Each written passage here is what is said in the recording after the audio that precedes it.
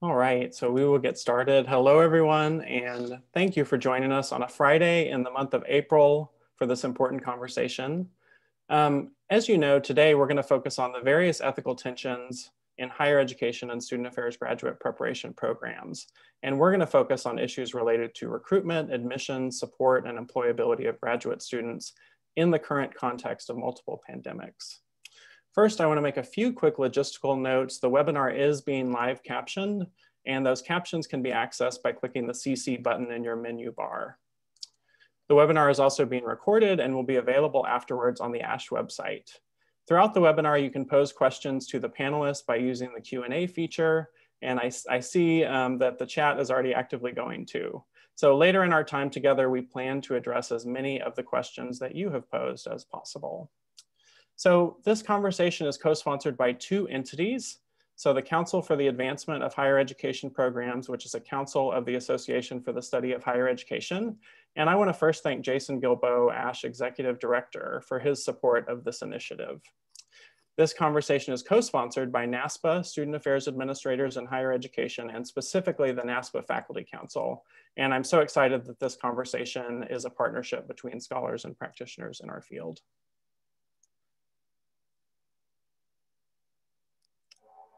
So we um, want to move into some very brief um, introductions. And um, my name is Ryan Miller, and I'm Assistant Professor and Higher Education Program Director at the University of North Carolina at Charlotte, which is located on the traditional homelands of the Catawba, Waxhaw, Cheraw, and Sugaree peoples. And relevant to this conversation, I also serve as the Program Chair for CAHEP. Hey y'all, my name is Sonja Ardoin. I use she, her pronouns. Uh, I am joining today uh, from the lands of the Sugaree, Catawba, and Cherokee East peoples um, at my home in Dallas, North Carolina. Uh, and I serve as an assistant professor uh, at App State. And I'm also a member of the NASPA Faculty Council. Uh, I serve as the Region 3 rep, which is the Southeast. Thank you so much. And thank you, Sonja, for being a brilliant co-organizer and moderator of this event. It's been wonderful planning it with you over the last few months. So now I want to move on to ask um, our panelists to briefly introduce themselves. And how about we just go in the order on the right side of the screen? Hello, my name is Darren Pierre. I'm a clinical assistant professor in the higher education program here at Loyola University of Chicago on the traditional homelands of the three fires, Ojibwe, Ottawa, and Potawatomi nations. And my pronouns are he, him, his. Hello, good morning. My name is Dian Squire. I use he, him, his pronouns, and I'm an assistant professor and program coordinator of the Counseling Student Affairs program at Northern Arizona University. And I'm speaking to you today from the traditional ancestral lands of the Navajo, Hopi, Paiute, Havasupai, Hualapai, and other tribal nations. Good afternoon, everyone. My name is Juan Guardia. I serve as Assistant Vice President for Student Affairs and Dean of Students at the University of Cincinnati. I use he, him, his, and el pronouns. Um, I'm coming from the lands of the Shawnee and Miami peoples here in Cincinnati, and I'm an adjunct faculty member in the Educational Studies Master's Program that has a concentration in higher ed administration. Hi, everyone. I'm Susan Marine. My pronouns are she, her, hers. I'm an associate professor and program director at Merrimack College, which is located on the ancestral homelands of the Pennacook and Abenaki peoples. Great, thank you to all of our panelists and we look forward to hearing more from you in just a few minutes. Um, before we do, I wanna set a little bit of context for our conversation. So um, this conversation began across several sessions during the CAHEP pre-conference at, at ASHE last November. And for those of you who have, who have not been before, that CAHEP pre-conference um, often serves as a space for higher ed faculty and program directors and, and grad students and researchers um, to come together and discuss current issues in our programs and how we can address them. So of course, um, at that time um, and ongoing, we convened in the midst of multiple pandemics, the global health pandemic and heightened visibility of racial injustice and anti-Black racism in particular, as well as deep economic inequality. So all of these issues, of course, um, affect our students and faculty and all of us, and we became acutely aware as well of the deteriorating job market um, in higher ed. So according to the Chronicle of Higher Education last year, colleges and universities lost a net total of at least 650,000 employees. And that is a 13% drop from February 2020 to February 21. And at no point since the Labor Department actually began keeping those tallies in the 1950s have colleges ever shed so many employees at such an incredible rate. Um, so in light of that, we all asked questions of each other at the pre-conference, including how will our students find jobs um, in the current context? We wondered, are, are we doing all we can to prepare our students for the realities of the market and their future careers, while also pushing our field to be more equitable and just? How do we respond to those institutional pressures to continue recruiting students or even recruiting more heavily in the current context? And also, what are the ethics of recruiting and admitting students with minoritized identities, and particular students of color, to campuses and programs that are um, not fully prepared to support them? So all of that um, prompted the discussion we're having today around ethical dilemmas that we face in this moment. And we view today's conversation as a starting point to identify and name and explore some of these current ethical issues we face in higher ed and student affairs programs. And we hope and plan to continue this conversation um, as well as importantly identify actions we can all take throughout the next year and beyond. So we're so grateful that you are here to be part of this conversation. When you all registered for this webinar, you were asked about the type of ethical dilemmas or concerns that you're witnessing from your vantage point, and we have read through the more than 240 responses from those who registered and identified a few recurring themes that we want to share with you for further context. So first, you identified the high costs of HESA programs. So top of mind, of course, would be financial costs to students and, and you know, high loan debt, lack of tuition waivers in some places, low GA stipends, and unpaid internships. And that's all before graduates take jobs that often have low starting salaries. But you all also identified the non-monetary costs in terms of student well-being, issues of burnout and balance in health and wellness. Um, also facing students are the recruitment and admissions processes that many of our programs structure. So students may be asked to provide test scores and reference letters and arrange travel to attend interview days. So all of this um, was also tied to employability resulting from higher ed programs and the job market that I referenced earlier. So one attendee put it well, um, the challenge of accepting students knowing the job market has basically imploded. So what are the current GA options, support structures for career searching and return on investment for students? Diversity, equity, and justice cut across each of the other themes, as you might imagine.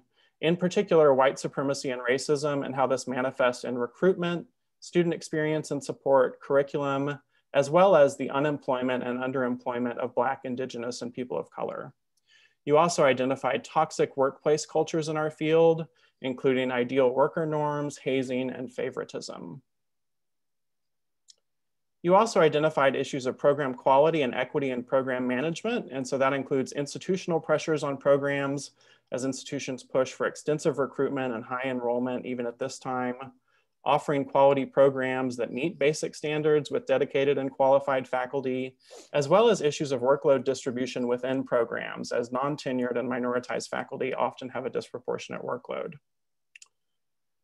Lastly, we saw concerns around professional development and preparation for the field. And I'll, I'll just quote um, a few participants in what you all said.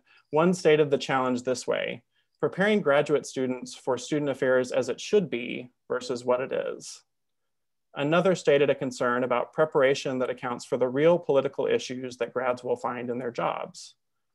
And finally, an attendee said the promise of a sustainable career in higher ed that may be affected by post-pandemic changes of our field.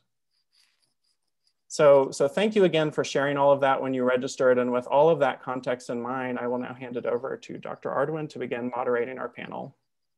Absolutely. Thank you, Dr. Miller. Really appreciate sort of that framing and context uh, as we sort of get into our panel discussion today uh, to tease out um, some of the sort of tensions and talk about uh, why we think they might be sort of most prevalent in the field, as well as um, perhaps thinking about how we've experienced them um, from the faculty side or how we have heard students talk about them as well. So uh, really appreciate uh, our panelists here today. I'm gonna stop sharing my screen so that uh, folks can see uh, more of each other uh, as we engage in this conversation. and see you as you're sharing uh, your wisdom uh, around these ethical tensions. So uh, thank you all for being here today uh, from different types of institutions, from different parts of the country. Uh, and so really giving us um, with different roles uh, in, in the grad prep process as well. And so appreciate your time and effort. And so what we want to start off with is a question around, they'll all really be from your perspective, but um, from your perspective in your specific role related to graduate education um, at the specific type of institution where you work and in the region of the country you're in, what are some of the ethical tensions that you believe exist? Do you agree with the themes from the survey? Um, and if so, maybe which ones do you think are most prevalent? Uh, Dr. Marine, do you want to kick it off for us? sure. Thanks, Sonja. And thanks so much to you and Ryan for creating this wonderful event and to my wonderful fellow panelists for being here today, too. Um, you know, I'm located in New England, about 20 miles north of Boston. Uh, Merrimack College is a um, Augustinian institution that's moving toward um, kind of a, a research two status from being a liberal arts college for most of its founding.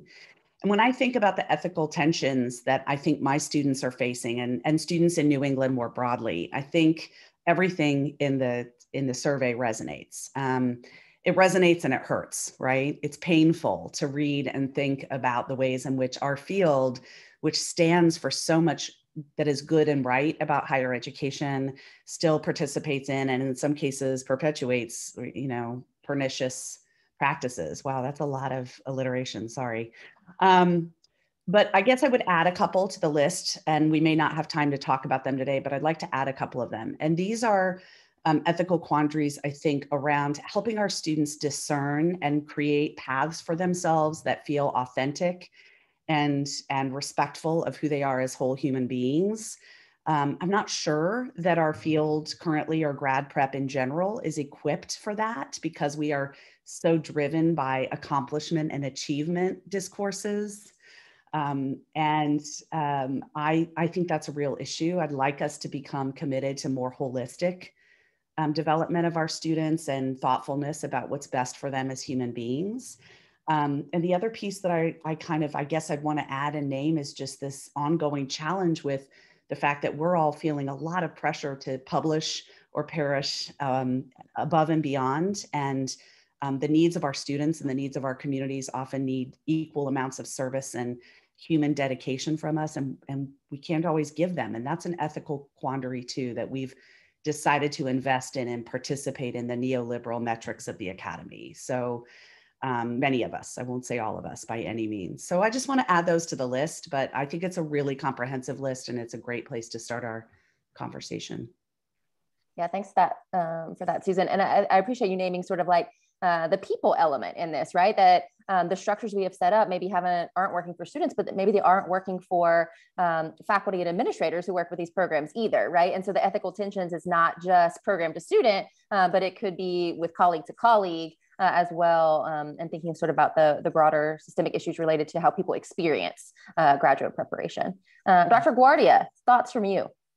Sure. So um, I'm located at the University of Cincinnati. So regionally, we are in the Midwest. Um, it's pretty interesting because where we're at at the institution, we are less than three miles away from downtown Cincinnati and right across the river from Northern Kentucky. Um, so as an urban R1 institution, a lot of the students that we attract are really from what we say the tri-state area. So Northern Kentucky, uh, Southern Ohio, and Southern Indiana. And so our students really look at our institution and our graduate program from a more of a regional feel.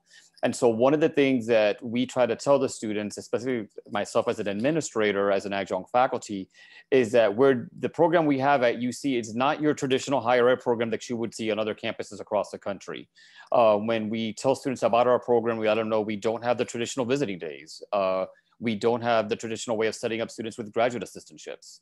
And so we give them that information heads up. Ethically, we want to let them know um, and transparency what we offer um, a lot of them want to stay in the region and or are working at our institution. And so it gives them the opportunity to obtain a graduate degree while staying in the area.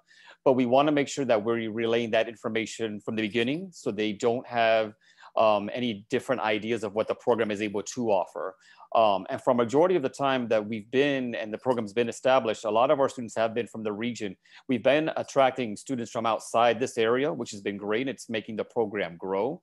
Um, we want to definitely uh, keep it honest and keep it truth in regards to what we're able to offer right now, and that it's a program in process and growing in that midst.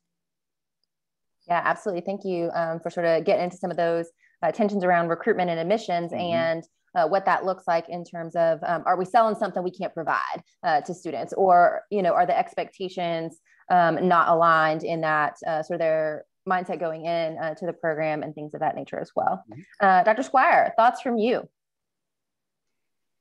hi thanks um, so i'm at northern arizona university um, we're a regional university. Uh, we have about 15 students in each of our master's cohorts. Um, we're also located 70,000 feet up on a mountain um, in northern Arizona, so sort of in the middle of nowhere. Um, well, it's a great place, but it's also in the middle of nowhere. Uh, we're an HSI. We have about 40% first gen students, 40% students of color. Um, and another contextual piece, I guess, is that a large majority of our student affairs professionals um, and leadership on campus don't have traditional student affairs backgrounds and haven't come through student affairs programs. Um, so there's a little bit of a mismatch with sort of what we're teaching in the classroom and what they're actually doing in their uh, GAs.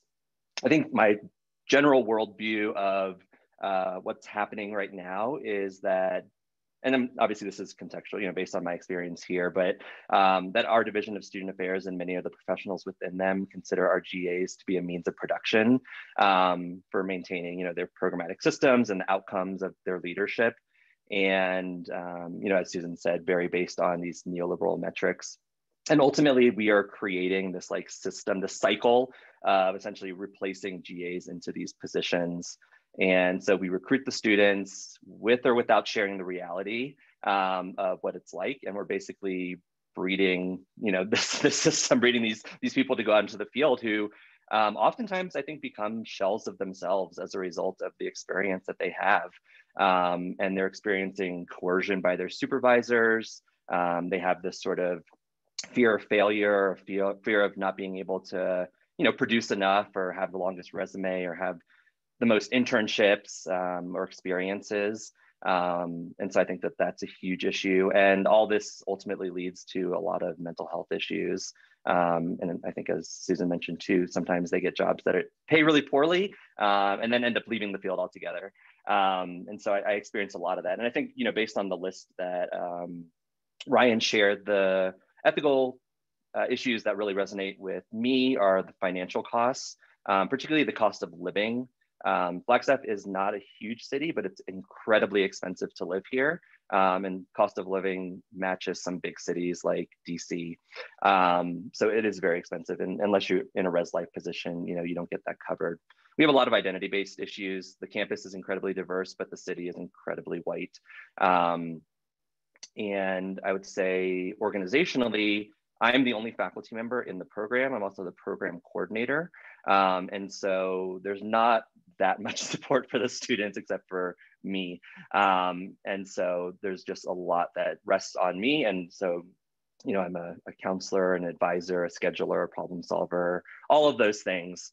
Um, and I guess the last one, which I just sort of remembered as Ryan was talking, was this curriculum piece, right? So I try to teach the field as it is, um, not as it should be. And sometimes that there's a conflict between sort of um, what they expect to learn in the programs or what they expect their student affairs experience to be um, because they come from these really you know great undergraduate experiences and they come here and it's sometimes not what they were wanting. Um, and so that's definitely something that i always have to deal with. Um, so anyways i'll pass it on to the next person. Yeah thanks for all of that dian. And uh, i appreciate too naming some of the things that are uh, sort of external to the institution and not always in our sphere of influence to necessarily move or shake, right? So uh, I also work in a mountain town, right, in Boone, North Carolina, and it's expensive to live there too. Um, and so, how does that play into some of these costs, which are maybe not things we can control, um, but are having a, a significant impact um, on our students and also perhaps on our ability to recruit um, faculty and staff to our institution as well. So thinking about how that sort of layers into educate, educational partners uh, that we're able to acquire for internships and GAs and all of those sorts of things as well. Uh, so I appreciate sort of that broader uh, lens there. Dr. Pierre, thoughts from you? I have a cat and she sometimes photobombs and we're living in a pandemic. So I just want to give context. If you see a furry animal come through, she we have intention in how we share space during a pandemic. I really think someone needs to write the book called The Miseducation of the Higher Education and Student Affairs Educator because there is so much we need to trouble around so many pieces. I want to particularly pay attention to the idea of employability. Loyola University Chicago is situated in Chicago, Illinois. And when we are meeting in person, we are right off the Magnificent Mile. I, I cannot think of a more dynamic piece of real estate than to be able to go into class right off of downtown Chicago. And a lot of our students, the conversations around social justice and around diversity and inclusion and um, in proximity to an urban location is what gave them interest in being at Loyola. That also gives 3,000 other people interest in being at a place like Loyola or Northwestern or DePaul or the University of Chicago. When we talk about employability, I think one of the ethical things we need to do is to be honest about what does it look like. You know, I think there's a season of sacrifice and a season of harvest. And if you are trying to look at major markets of your Chicago, your Atlanta, your DC, your Los Angeles, your New York, your Boston, you're really going to have to discern your experiences in a different way than someone who is less geographically bound or bridled to a, a place. And so I think about those ethical pieces that in higher education programs we need to start talking about. I think that's one of them. I think the other piece, and if I feel so bad, I used to be a practitioner, which is I appreciate being a clinical assistant professor because I, I had that practitioner hat sometimes. I think another piece that I probably wouldn't have said when I was a practitioner, but certainly would say now, is I hope that student affairs can get more um, proficient in the conversation of fundraising and development. I think the work of student affairs is critical. It is critical to human development, to being powerful and a leader, whether it's in nonprofit or industry. But what we don't do is curate powerfully those relationships beyond the four year experience and say, how are you giving up your treasure as you are able as you, of your time as you're able as an alum back to this institution, particularly back to this division, because I think that's where we begin to respond to some of these things around limited resources, where as Dian was talking about, we have graduate students who are doing really the work of professional staff, but being paid at a paraprofessional level. If we're going to start really getting at some of these inequities, we've got to really start thinking about our work from a different paradigm. I think higher education programs need to think about having development as a core part of their curriculum because we got to really begin to talk about how do we talk powerfully about the narrative, not only for the undergraduate experience, but for those alums who we hope to be partners in the enterprise as we move forward. Yeah, and I appreciate sort of thinking creatively maybe about uh, ways we seek solutions to this, Darren, because um, you know, in a lot of our states, if we're at a public and public state institution, we're not getting more state money for this. Um, and so thinking about how do we get creative uh, whether it is in terms of sort of stipends and things like that, or professional development funding for students, or um, emergency funding uh, for grad students, and, and all of these sorts of pieces. So appreciate those comments. Um, so wanting to dig a little bit deeper uh, into some of these ethical tensions, um, and some of you have started talking about this already, but Dian, I'd like to hear from you a little bit about um, how honest do you think we are about recruitment and admissions uh, in, in higher education and student affairs graduate preparation programs?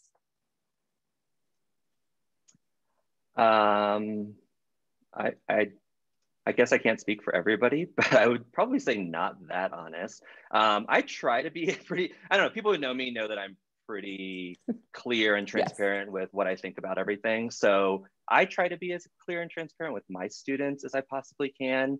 Um, you know, I tell particularly my students of color and or queer students, you know, what it's like to be on this campus, um, what, what the city's like, what, you know, the general region is like, um, kind of the political atmosphere of Arizona, um, and what are those challenges and what are some of the benefits of um, coming to NAU. Um, and I try to draw on my own experiences to do that as a queer person of color um, but also try to couch it within, you know, the student experience is gonna be a little bit different. You're gonna have your cohort, you might live on campus, you might be in res life, which is where half of our GAs are. Um, so they're gonna, you know, they're gonna have some kind of built-in community there. Um, and I try to couch my recruitment and admissions within the broader conversation about how we discuss social justice issues within our program. Um, so usually when I'm doing these recruitment calls, um, or giving you know our webinars about our program or whatever you know we talk about our curriculum and um, how we sort of integrate that. And i always start with our admissions and say you know we ask very specific questions um, in our essays. We don't require the gre i'm not interested in how much social cultural capital you have um, but i'm interested in your worldviews about the field and about leadership and about social justice and if you have something to say um, so you know when i got here our cohort was about 14% students of color. Um, and by shifting completely to holistic admissions, we're now at 55% students of color in two years. Um, and so, you know, that was really important for me yeah. to, to integrate, you know, to move our process uh, forward into the future a little bit. I mean, that doesn't mean that like we still don't, you know, only have, you know, one black student every year, right? And so there are certainly concerns um, around that. Um, and I'm always still balancing. So I guess the ethical tension is increasing our structural diversity, but also knowing that I can't always support all of these students who are here as the only faculty member. Um, and our division is incredibly white. And, um, you know, I want our program to match the population of our students here on campus and the, their future students that they're working with.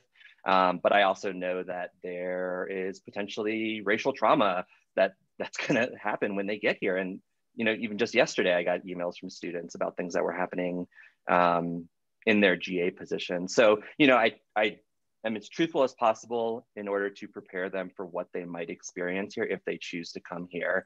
Um, also knowing that those students might not choose to come here, um, which is just something that I think we have to deal with, you know.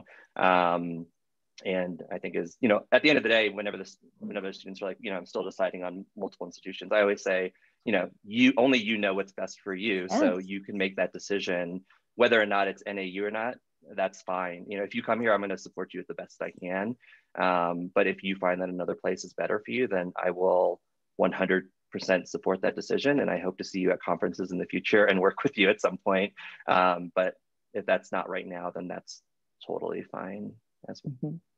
Yeah, I feel a, a lot of what you're saying, Dian, and um, have experienced some of that um, as well in thinking about uh, we want to grow, right? Um, the percentage of students who identify as BIPOC or queer or from different religions or international students on a campus. Um, and what do you do if you know your campus or, or community uh, is also not willing to support that? And so, how do you be transparent about those in a way enough that students uh, can sort of choose their if they want uh, to sort of take that risk um, or not take that risk uh, in their own sort of educational journey. So appreciate those nuanced comments there. Um, Dr. Guardia, you mentioned a little bit about recruitment admissions. Anything else to add here? Sure, absolutely. So, you know, it's interesting when I've had my conversations with undergrads who have, who have either attended or um, are at UC and say, I want to go into the field and I want to stay here at UC. I said, well, um, let me keep it 100% and real with you. This is exactly how the program is set up here it's a good program. It'll get exactly what you want out of it based on where you aspire to be within the field. Um, but the reality is this, you know, I'll help you seek out assistantships because I'll hear about it through the division. If I see some, I will send it to my faculty colleagues over in um, education to spread that to their graduate students. Um, but I've told them, I said, you know, that's one of the, the things that the program still continues has to work on is establishing what a GA recruitment will look like. You know, what does a visiting days look like so y'all folks can come and interview with a variety of different units. Um, you know, and then actually one of the things that I try to share with the students as well is that, you know, there needs to be more communication across the institution about what are all the assistantships that are being offered. A majority of those that are being offered will be on our main HR website. So students will try to go there as well to seek them out. And so, you know, they'll look at it and they'll say, okay, you know, well, what does it look like on other programs? I said, well, more traditional programs may have their visiting slash days so they can come and visit and do their, their assistantships and the interviews and so forth. Um, but, you know, I don't deter them, but I want to be honest with them. Um, and then some have also said, you know, touching on what Dian mentioned is, you know, the diversity on campus, you know, we're very black, white at UC and in the region that we're in. Um, you know, one student uh, about a year and a half ago said, you know, what does the Latinx student population look like on campus? And I'm like, it's actually pretty small. Um, and they said to me, well, I, I only see you. And I'm like, well, I'm the only Latino senior level administrator within the division as it is. And they just stay a little bit shocked. Um, but I said, that's just the reality of the situation. That doesn't mean that we're not here to assist and work with everyone else um, that's here for the program. So I think one of the best things I try to explain to the students is this is what we're able to offer. If it's a good fit for you right now from where you're at, I'll do whatever I can to assist you from the practitioner side and also with my faculty colleagues.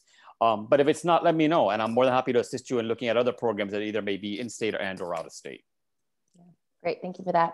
Um, and I appreciate naming that um, the sort of GA process looks different everywhere, right? And so I think there's also sort of a, a philosophy or a, um, I don't know what the word I want is, but an assumption um, about uh, higher ed and student affairs programs is that they're all sort of uh, lockstep of they all offer GAs with full tuition admission or full tuition. Um, oh, what's the word I'm looking for? Remission, yeah, um, and things like that. And that's not true. And so um, sometimes students either aren't aware of that or don't know all the different options and and what does that mean. And so uh, my next question, Dian, if you want to chat a little bit about this, is um, how do we acknowledge these sort of differential opportunities or differential support structures uh, that students may receive either in the application process or when they're with us on campus? Um, sorry, I've just been, there's lots of questions in the Q&A, so trying there to get is, yeah. too. Yeah. Um, so all of our GAs uh, do receive the same package except for our Res Life folks who also receive housing, which I think is generally pretty standard. Um, however, I think there are like inherent inequities in sort of how they do their work, how much work they have to do. Um, and then for the folks who are not Res Life GAs, as I mentioned earlier, the cost of living for the area. Um, so, you know, I think there's, it kind of goes multiple ways. So like Res Life's GAs end up doing, you know, 25 to 30 plus hours a week in their GAs, um, but they also get the housing. Um, but the other folks are maybe actually just working their 20 hours, but they don't get the housing. So there are sort of these you know, I don't know if it's causing tensions in the program. I don't see it between the students as far as sort of what they get. Um, but I think we just, like you said, have to have general conversations about sort of what um, what the stipend looks like, what the cost of living looks like, and these are these are way bigger question than we can answer or, or provide solutions to. And there are even issues that our faculty and staff are dealing with um, here on campus also. Um, so I think that that's just one of one of the ways that we see sort of differential support structures showing up in our in our program. Um, the other one too, I think, is just sort of related to um, identity-based issues. So, you know, for students of color, queer students, the, the the needs that they're having based on sort of these experiences, these negative experiences that are happening all across our campus. Um, you know, our counseling services are low. And once again, I'm the only person in the program. Um, so when I'm trying to be everything to everybody, um, I feel like I can't deliver that. Um, and for the most part, my white students seem to do okay here, and my cishet students seem to do okay here. Um, so there is just sort of a differential experience that also sort of relates to the types of support structures that we're able to provide to different students here. Um, so I mean, I guess I'll just sort of stop there. There's probably there's some other little like nuanced details related to sort of how our program is set up, um, but it, it's probably too idiosyncratic for this conversation. Thanks for that, Dian. And um, yeah. the other thing I think is interesting. So I've worked at Boston University. I'm now at App State. Um, and at both of those places, really the package is determined by the employer, right? So you mentioned, you know, it's sort of all the same except for housing, which is the housing and room and board is part of essentially their job duty, right? Um, to sort of live in and respond and be on call. And so um, for those of us who are at programs that uh, academic affairs may pay sort of a different GA stipend and have a different package than student affairs, than athletics, than alumni association. Uh, that starts to create some tension because uh, can we control um, and what people offer in terms of their educational uh, our educational partners can we not then are students comparing you get this much pd money i get this much pd money or i get zero pd money um, and so how is that in terms of their opportunities to continue their learning or to live like literally to live and have basic needs and those sorts of things. So um, appreciate sort of the the differences in how programs are set up and how that may create more or less tension uh, based on some of those things. Yeah and i try to be really clear with them you know once again through the admissions recruitment process about what these sort of differential experiences might look like for different you know students. And i think where we see the largest impact is that our res life students um, sometimes show up into class incredibly exhausted um, and also you know not doing the reading and so sort of the outcomes that we would associate with being in a graduate program don't always seem to be met um, when they're working 30 hours a week plus our our program is a 48 credit hour program for a master's degree. So it's pretty heavy because we're a counseling based yep. program. Um, so they're taking all the counseling classes plus their student affairs and research classes, and it's a lot. Um, mm-hmm. So I think we're just sort of dealing with those sort of tensions as well. Mm-hmm. Yeah, thank you for naming those things. Um, and I want to get to some of our uh, Q and A uh, questions that are in the chat box. Before we go there, though, so these some of these differential supports, uh, Darren, might influence um, students' experiences, which then might influence their employability. So would love to hear your thoughts about how, tra- how transparent do you think we are um, about employability in the field? I don't know if we're as transparent as we really need to be. And, and, and I want to kind of shift a little bit to my employability and talking about fit. So, you know, as I mentioned, in Chicago, we have dynamic conversations and we've been living in a political social climate of the last 18 months that's dynamic, to put it diplomatically. But there's a level of conversation we're having at Loyola, situated at an institution that's grounded in social justice in an urban environment that is not going to be the same as my counterparts in other parts of the United States. What I have to support my students with is they think about employability, because I think employability is twofold not only is it the employer who's, who's curating a relationship with the employee, but the employee is curating a relationship with the employer. And so I have to tell my students, one, social justice is expensive. And so people say social justice a lot, but they're not necessarily ready to put the resources where it is. So let's have honest conversation about where we really are going around diversity, equity, and inclusion. The second piece is understand what are your non-negotiables there are going to be places where you go to that you're going to be super surprised at where they're at around political and social commentary of the day. And you've got to really be clear with yourself if you're going to be able to work and serve in a space like that. Because sometimes I don't know, and I love the way we talked about what it should be and what it is. I don't know if what student affairs is as a profession, what we call it to be, is what higher education is as a profession and what it's calling itself to be. And that tension continues to emerge. And so I think as higher education practitioners and as faculty, we got to be honest about the diverse topography of institutions that are here within the United States and abroad so that students can make powerful decisions about where they're going to go with a clear understanding that what the conversations may look like at Appalachian State will not look the same at Northern Arizona, will not look the same at Merrimack, will not look at the same at the University of North Carolina Charlotte, will not look the same in Cincinnati, and certainly won't look the same in Chicago, Illinois. Mm-hmm.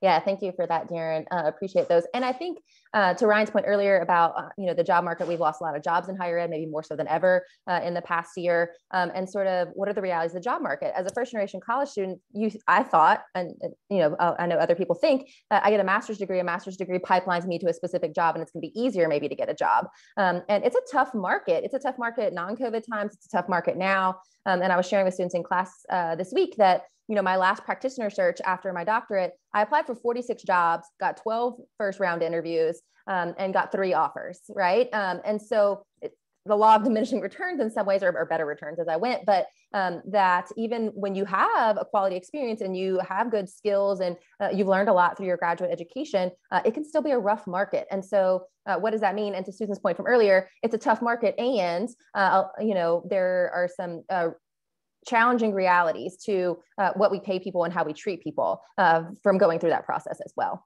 Um, so thank you for sort of all your comments on our set questions, and I'm going to kick it over uh, to Dr. Miller to attend to some of our um, attendee questions in the Q&A.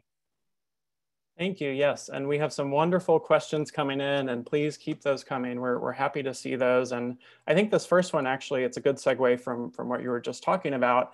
And it's around that notion of increase, increasingly some graduates from programs, both at the master's and doc level, um, may leave higher ed or, or never work full-time in higher ed and may go into corporate or for-profit or nonprofit.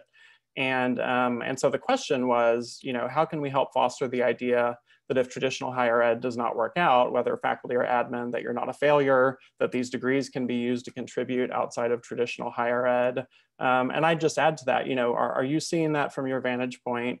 And, you know, what do we do with this idea of students who have invested a lot and perhaps leave the field very early on, or maybe never even, never have a full-time job within our field, but have, you know, invested so much?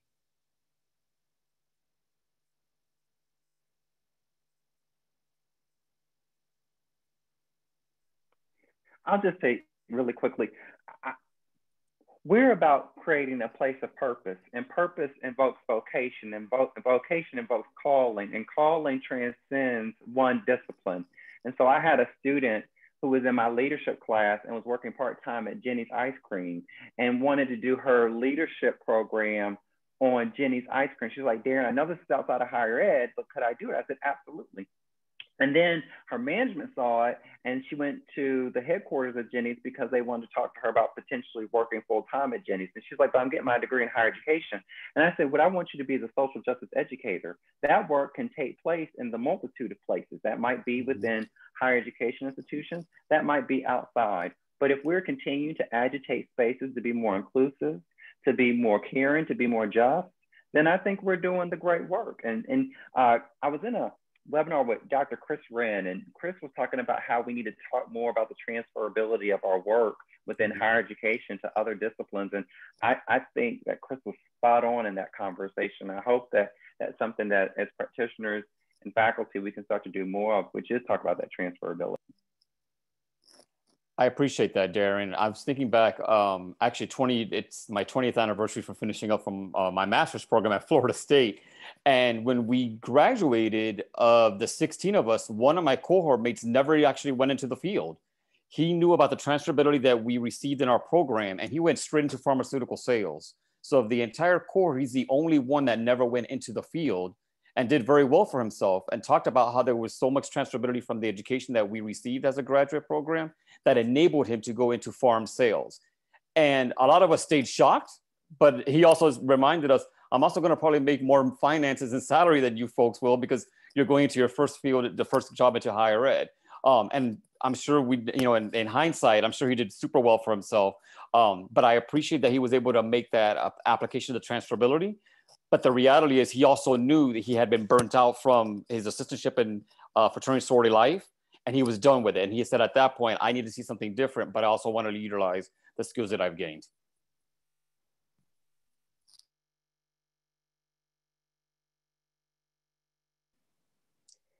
I'll say too, um, and um, maybe somebody else who's worked with this population more. But uh, as we think about doc programs as well, I think that uh, there is some socialization in doc programs and that creates some tension around employment and employability. Um, most, mo not all, a lot of doc programs are at R1, R2 sort of institutions. And um, we may be socialized as doc students, I feel like I was, to believe that the only route after a doc program is a faculty job, and the only faculty job is a tenure track job, and the, only, the those only exist at R1, R2s. Um, and so, how do we sort of expand that for doctoral students as well? Um, and think about all the myriad of ways through administration or policy or governmental work or um, other sorts of things as well, because I think that uh, for some doc students, the faculty route is great, uh, and we know the faculty market may be even, even more sort of contracted uh, than the administrative market as well. And so, yes, this applies to master students. I think it also applies to doctoral students um, and sort of how we um, pressure, uh, in some ways, in my opinion, uh, people to believe that there is only one route that will be considered successful uh, by their faculty uh, and or by the field writ large, and everything else is a failure. And I would completely disagree with that. Um, and I, I was with doc students at AERA thing earlier this week, um, and I, I that was sort of the impression I got from some of them. So I, I want to pose, there's um, two related questions that came into the Q&A about back on this thread sort of of providing support to graduate students and, and in particular being situated at institutions that don't offer much in the way of, of really any support for graduate students. I'm curious to hear about institutions that do that well, but I think it goes back to what Dian was saying too about being or sort of feeling like we may be in a small faculty the only sort of support people um, for students in our programs. And um, so, so that was raised in two questions and I'll, I'll elaborate on one of those. Um, one tension we encounter in our program relates to creating an access and opportunity by keeping barriers to admission low. but we also struggle to fully support students who need more academic support and development, given that graduate level um, student services are basically non-existent at the institution. If our students are to receive extra support or services, it's from us. So curious if anyone has navigated that. I, I would say yes, I certainly have over the years. Um, I've watched our um, institutional resources for undergraduate academic support just explode. And um, we have one writing writing tutor at our writing center dedicated to graduate students. We have 1,200 graduate students. Um, so I am always raising this issue and saying it is unreasonable to expect graduate students to come in fully prepared to do graduate level work all the time from everywhere, from every background, from every major, from every institution everywhere in this country and beyond. Um, and um, and sometimes I'm surprised at a response I get, which sometimes I hear as, well, the faculty should just be providing all the extra support. In some cases, I agree with that because I think, you know, it's our coursework, it's our um, skill set that we're trying to impart, and we can and should help. But I say that as a person with two full time colleagues. Someone running a program by themselves, like Dian, it's impossible. Um, and furthermore, it doesn't hold our institutions' feet to the fire around providing communities of support where students are and become and are supported in becoming um, people who tap into resources across their institution, which is what they're going to need to do as practitioners.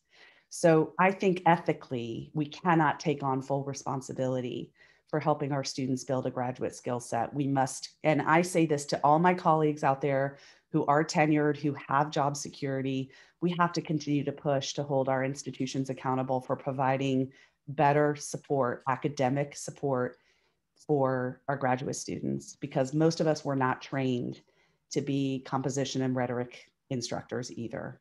Um, so it's just not not on our skill set either necessarily. So we need to continue to push push on that.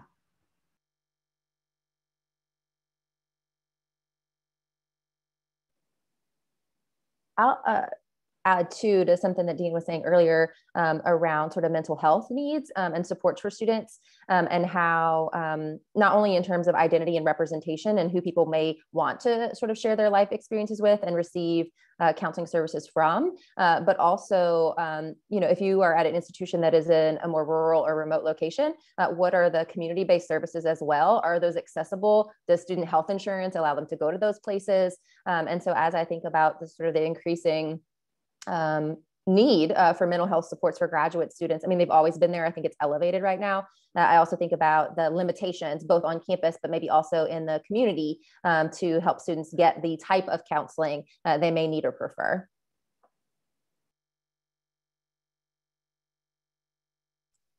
Pose one, one more interesting question. Um, so working in student affairs, our students will consistently be aware of and exposed to tensions as a practitioner tension of ideal versus reality, individual versus collective, espoused versus enacted values, wellness versus exhaustion, and the list goes on. How do you prepare students for, um, for working through these tensions? And it, it really strikes me that goes back to this idea of preparing students for, for what is versus maybe where we might like to move the field.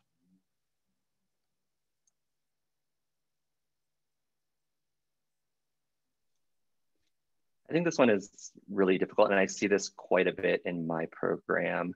Um, and probably for a wide range of factors, like they didn't realize the city was going to be so small. they just can't survive here as people. Um, but also, as I started with, our division is not really a traditional division. We've, we've had pretty toxic leadership here for the last six years um, across all levels. And, you know, a lot of our folks don't come from student affairs backgrounds. So they just don't really understand like what we're trying to do here.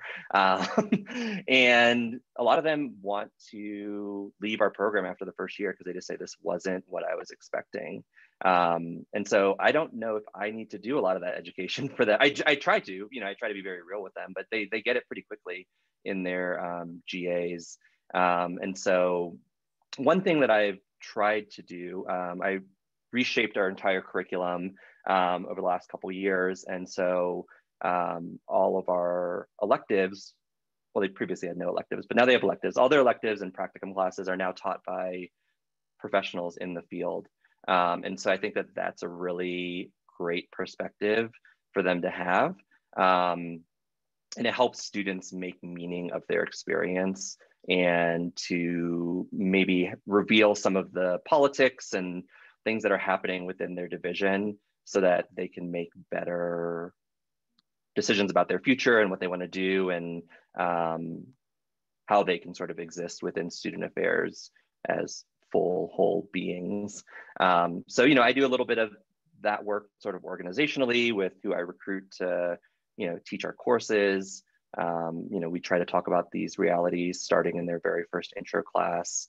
Um, and they get that real world experience as soon as they get here, um, which sometimes leads to them switching into another program that's like a one year human relations program so that they can get out pretty quickly, which is always sad, but it happens. Thanks for bringing that up, Dian, because that's something that we do, those of us that are tapped at, at least at UC to serve as adjuncts for our program. So myself, uh, my peer assistant vice president for leadership and engagement, um, my vice president for student affairs. Um, one of the things that we're, we're really prideful of is that we do have the opportunity to teach these courses. Um, there's not a day when we've taught them that we've not provided them real world examples of what it's like to be a practitioner and what's going on with us in our daily in our daily positions and so forth. Students have appreciated that. They definitely see the theory to practice and we're integral in making sure that we're demonstrating that because um, we tell them this is exactly what it's like once you go into the field and they appreciate that they get to see that from their ed faculty, but they also get to see it from us from the practitioner lens as well. I think the other thing to complement what's been said already is that we've got to continue to talk about therapy in our higher education programs and talk about therapy as a powerful tool when you're moving into new spaces. If I am working in a toxic environment, if I'm in a remote part of the country that I haven't been to before, those things coupled with the pandemic are going to absolutely put me in a powerful place where I might benefit from therapy. And I don't think we talk about it enough. And especially when you work in student affairs, that is a supporting field we had uh, I was on a team here at Loyola, and when George Floyd's murder happened, someone said, "Well, we need to reach out to the vice president of human resources to see what she's going to do to curate support services." I said, before you ask her what she's going to curate, ask her how she's doing as a Black woman raising Black children, seeing this type of trauma on television. Ask her that question first before you ask her the question of what is she going to do in terms of trainings and response from the university. We are so often so quick to put on other people's emotional, physical face mask before we put on our own. And we can't continue to be a sustained field that's going to sustain people in the field if we don't really start talking about our own mental health, our own wellness in these conversations.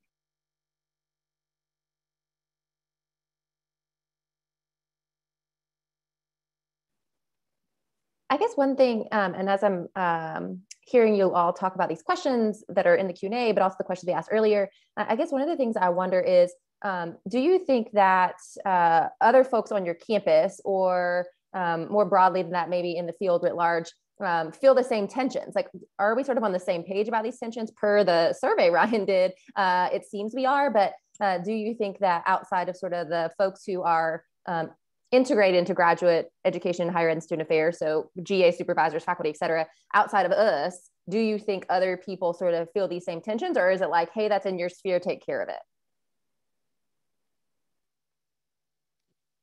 I think I would say it's some it's some of both. I think some of our colleagues really care about these issues and the impact they have on students and think of them as ethical quandaries that we need to address. And I think other folks feel like, you know what, graduate it's sort of that mentality of graduate school is hard for everyone. Everyone's low income in graduate school, everyone struggles, just just do it. Um, I see the whole spectrum of attitudes represented in our profession. I'm con- consistently just flabbergasted by um, the elitism that I will hear people bring up and parrot and say, well, you don't want to go to this grad program or that grad program. You want the name, you want the reputation, you know, blah, blah, blah. I'm, I'm just always just gobsmacked by that, but it's, it's real. It exists in our field from both from practitioners and faculty and what I wish we could do more of is have more honest conversations about who does that serve? You know, I, I mentioned this the other day in our planning meeting, but I think that our work needs to be centered and oriented around what is going to serve our students and their futures best. And I think a lot of what we do serves ourselves um, or our reputations or our futures or our programs' names. And I wish we could have more honest conversation about that. I think if we could, we could we could make headway on it. But I don't hear a lot of people talking about that. So thank you for talking about it, letting us talk about it. Any other folks have opinions about that?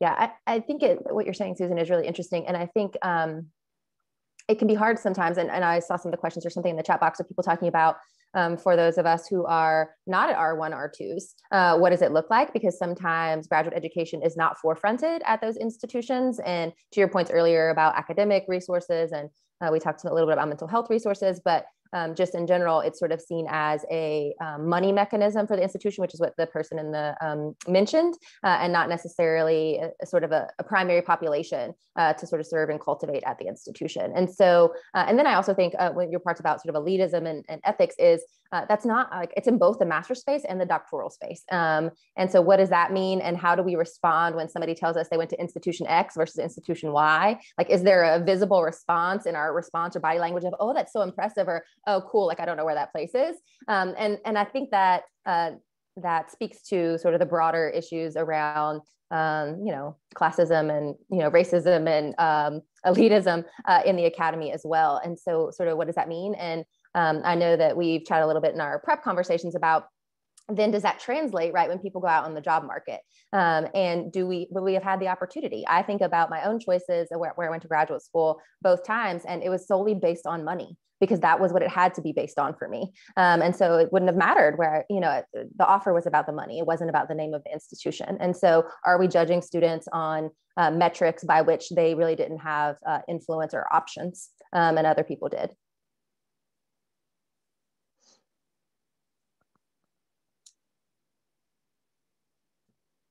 Ryan, do we want to? I think we're almost out of time here.